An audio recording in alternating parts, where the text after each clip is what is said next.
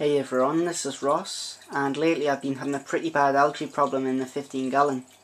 So much so that I've been quite embarrassed to show this tank lately, uh, because I'm supposed to know a lot about planted aquariums, uh, but everyone makes mistakes. Uh, so first of all, if I come up pretty close to the glass, you can see just how much algae has developed in the last week. I cleaned this tank exactly a week ago, and usually it wouldn't have half the amount of algae as this. Um, you can just see down that uh, side there just how much there is. And this isn't normal green algae, this is actually brown algae. And it's actually quite hard to get rid of. Um, and it, it actually does okay in low light levels. Um, so cutting the lights down isn't really gonna get rid of it too much.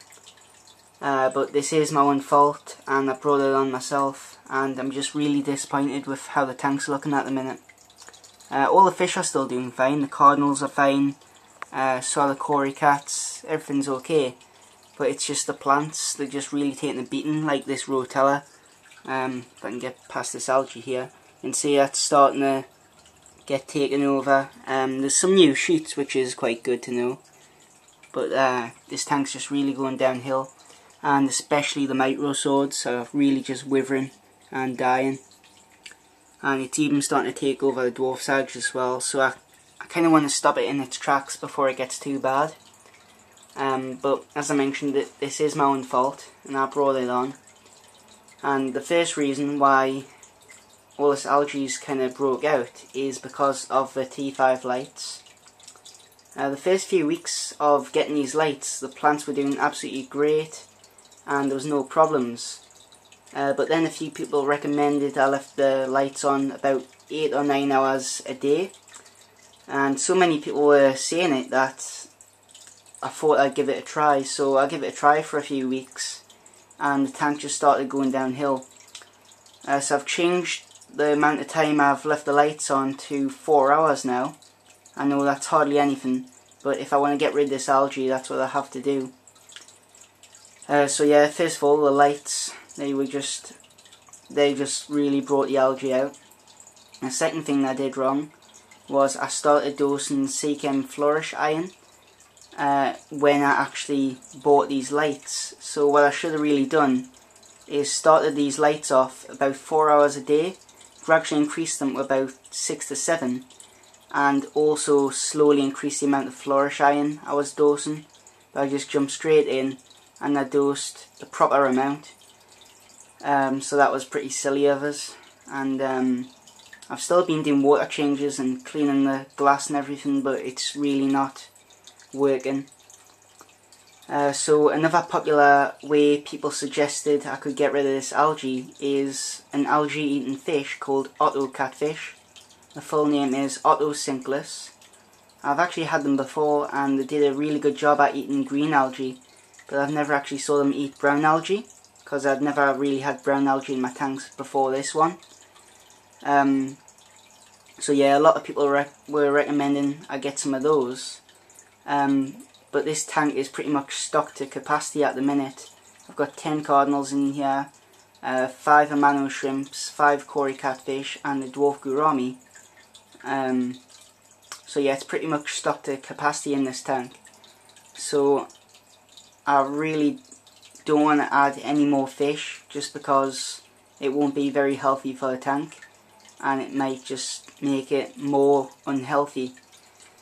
Um, so what I'm actually considering getting is a larger tank. I've been wanting one for a while anyways and I said I was going to get one ages ago but uh, I never got round with because I didn't have enough money. But um, I've still got all my Christmas money and I've been saving up since Christmas so now finally I've got pretty much enough money for a, a larger tank. I'll just turn the light on over here.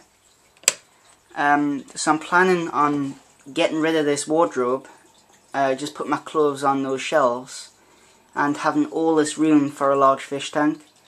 Uh, so I'm thinking maybe a 90 or 100 litre. I'm not sure what that is in gallons. I think it's about 25 to 30 gallons. Um, I'll probably have to type it in on a converter on Google. But yeah, I'm planning on getting a, about a 100 litre fish tank and that will enable us to get some algae eating fish like a bristlenose plecostomus and three or four otto catfish. That also means I can get some more cardinal tetras because I'd like a larger school of these just because they're really nice fish. And um, yeah, I'm going to do a lot of things different in that tank. Um, I'm going to put a lot of things right that I kind of messed up on this tank. For starters, I'm just going to get some T8 lights. Uh, I've always been fine with T8 lights. Uh, before I had these T5s, the plants absolutely loved the T8s. All the plants grew well. But um, yeah, I'd be satisfied with having T8s. And I'm, I'm going to use uh, Seachem root tabs instead of the Flourish Iron. I might dose a bit of the Flourish Iron, but not as much as I did in this tank. So I'll just show you the root tabs which I might be using. So these are going to kind of encourage plant growth and discourage algae growth. And um, I heard that M. Bezic uses these. So they're really good and I'm willing to give them a try out. So yeah, I'm planning on getting a bigger tank. Hopefully the bristlenose pleco will clean the algae on the glass and the otto catfish will clean the algae on the plants. And the reason why I'm not getting rid of some fish in here to make way for auto, otto catfish is just because it, it would be a shame to get rid of the fish in here after I've had them so long. I think I've had them about 8 months now, 8 or 9 months. And they've been fine, so it would be a real shame to have to give them back to the pet store. Um, and then they could be sold to people who won't take care of them. So yeah, I'm planning on getting a bigger tank, a proper stand and everything. Uh, probably a canister filter and um, a UV sterilizer I'm thinking of as well. So yeah, I'm going to take this next tank really easy. I'm going to uh, try and keep the algae out. I'm going to only run T8s. I'm going to use root tabs instead of liquid fertilizers. And so what I'm going to basically do is try and salvage the last healthy plants out of here.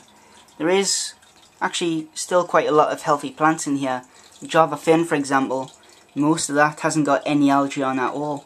And Java fern's always been like that with me, it's never really got any algae. You see that leaf there, it's got hardly, ha actually hasn't got any algae on, from what I can see. And the leaf next to it, it looks like it has, but that's just how Java fern goes once it gets old. It starts to develop little brown spots and then it withers and dies. So that's just part of its life cycle. Um, but yeah, this next tank I'm planning on having a huge bit of driftwood or bogwood, something like that.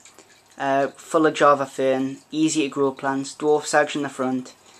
I'm just not going to make it too uh, too high tech really. I'm just going to keep it simple and um, keep the algae away. So yeah, I've learnt a lot of lessons from this tank and hopefully I'll, I'll improve the next one. Uh, I've also got this narrow leaf java fern down here which I'll be using in the new tank. And this has stayed really healthy. I've just been keeping it in this tub for a few months. And because java fern is a low light plant, it was fine in here. This gets natural daylight. Uh, just through these blinds, it's enough to keep it healthy. And I, I dose liquid fertilization in here and it's stayed really healthy. I'm really pleased with it. So I've got all this narrow leaf java fern which I can use in the new tank. And yeah, I plan to get some algae eating fish. And I plan to get rid of this. So yeah, I've just been cutting the lights and I'm cutting the liquid fertilization. Okay, so now I'm going to do a water change on the tank. And I'm going to remove some of the plants covered in algae and I'll clean it up and I'll show you the best I can really do. Okay, so I've just done the water change. I've cleaned the glass and the plants the best I can. And on closer inspection, um, it doesn't look like there's a lot of algae actually on the plants. I think it was just mainly on the glass. So I'm pretty happy about that. But um, yeah, so hopefully in the new tank I'll get some otto catfish and that should completely solve the problem. I'll also get some T8 lights as well. I've completely removed the micro swords because they were just basically too far gone uh, to kind of save. Um, but anyways, this leaves some sand for the Cory catfish to scavenge. Alright, so thanks a lot for watching. If you liked the video then please comment, rate and subscribe. Bye.